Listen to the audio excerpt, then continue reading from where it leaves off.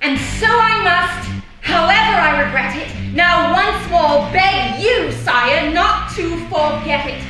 That here in debtor's prison I do lie, for lack of funds promised me as your spy.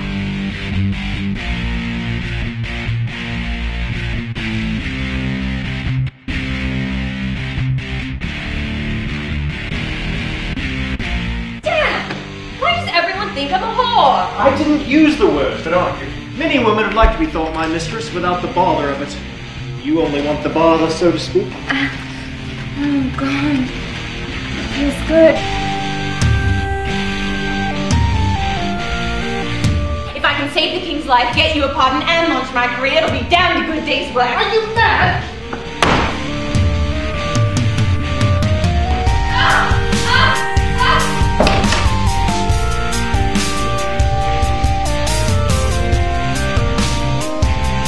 Why be hasty?